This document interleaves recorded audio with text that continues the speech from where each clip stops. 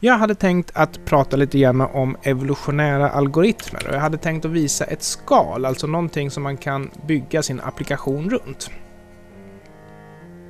För att göra det här programmet så behöver jag ha tillgång till konsolfönstret som ligger i system. Jag behöver använda mig av generiska samlingar och jag tänkte använda mig av link.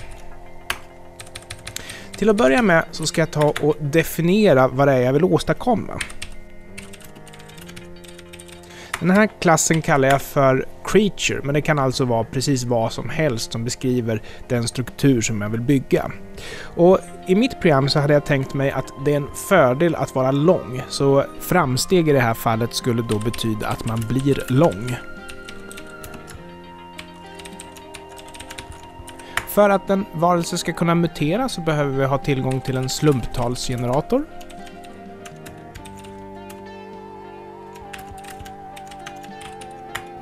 Och eh, slutligen så behöver jag ha en funktion att anropa för att den här varelsen ska kunna föröka sig.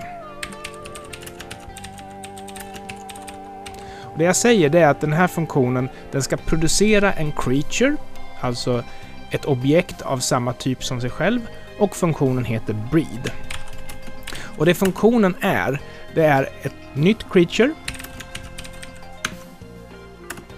och längden på det nya monstret ska vara lika med längden på det befintliga, alltså längd lika med längd. Men jag vill också skjuta in en mutation här, det vill säga längden kan vara samma, den kan vara ett mindre, ett mer, men den kan också vara två mindre eller två mer. Så för att åstadkomma det behöver jag ha ett slumptal mellan minus 2 och 2. Ett slumptal mellan 0 och 5 får jag fram genom att säga next 0,6. Och det beror på att Next då, den producerar aldrig riktigt det talet som, som man skriver som högsta tillåtna, utan det här ger ju max 5.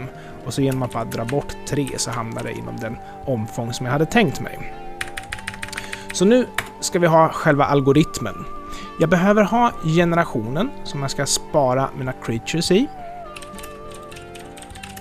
Och det är alltså en lista av creature-objekt.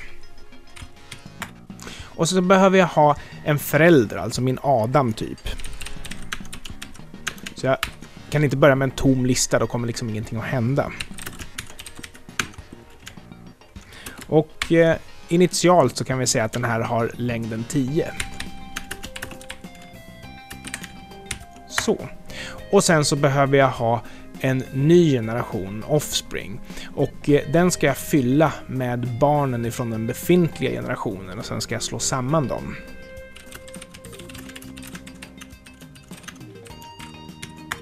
Och för att jag vill kunna presentera hur många generationer som har passerat så vill jag ha en variabel för det.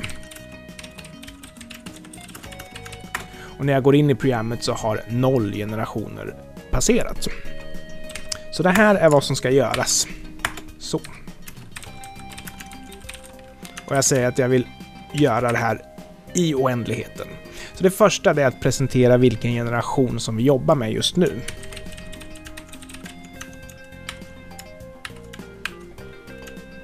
Och då säger vi generation och sen så tar vi vårt värde, lägger till 1 till generation count och presenterar resultatet i konsolfönstret. Och nu säger vi att varje varelse, vilket från början då bara är en, ska få fem barn.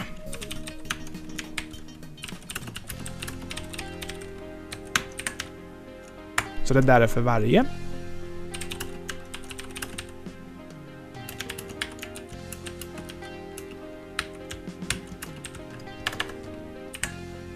Och fem gånger så vill vi addera en ny avkomma till vår avkommelista.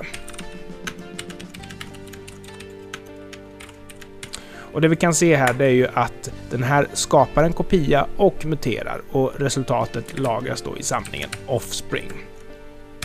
Så den här nya generationen kan vi då ta addera till våran befintliga.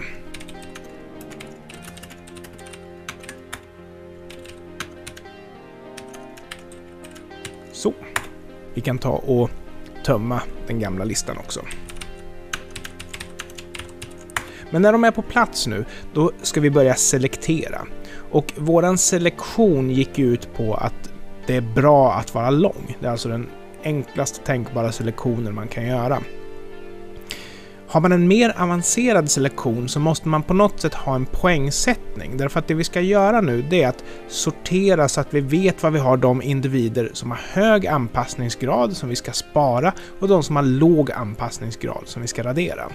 Genom att sortera listan på längd i det här fallet, normalt sett så gör man ju det på sina poäng, så kan jag helt enkelt bara fimpa de individer som jag tycker är sämst och sen fortsätta att avla på de som jag tycker är bäst. I vårat fall den som har högst värde i längd, men i ett skarpt exempel efter våra poäng som vi har bedömt dem.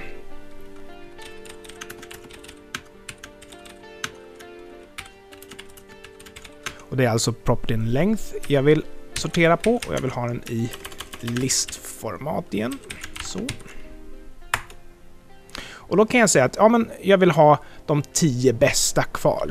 Så alltså medan jag har fler än 10 så ska jag plocka bort den sämsta.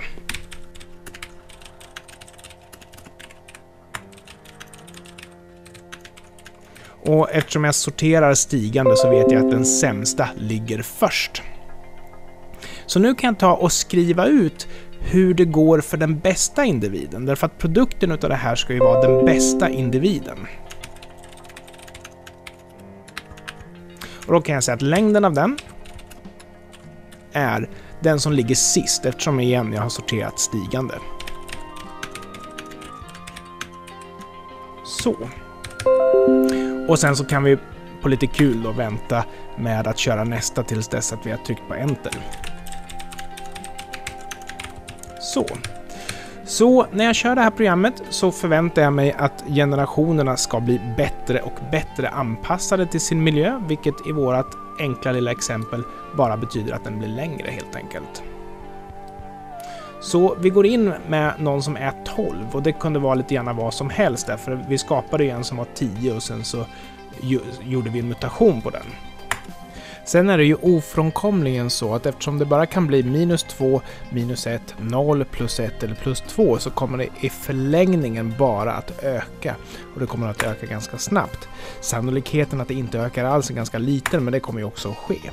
Möjligtvis en eller till och med noll faktiskt, men det går ju stadigt uppåt. Så, så när man har låtit det här tuffa på i ganska många generationer då kan man ju vara säker på att man har någonting som är långt här. Så det här är själva skelettet för en evolutionär algoritm. Det som saknas det är ju så att säga vettiga kriterier att bedöma någonting. Och dessutom någonting som är lite svårare att åstadkomma än att bara öka längden. För det hade jag ju kunnat göra på flera olika sätt som jag redan vet hur det går till. Så, så funkar evolutionära algoritmer. Och här är hela koden. Vi har vår algoritm och vi har vår definition.